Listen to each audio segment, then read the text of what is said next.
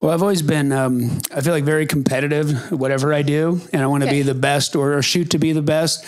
Um, and so, you know, my first job was Fry's bagging groceries, and um, and I took that very serious.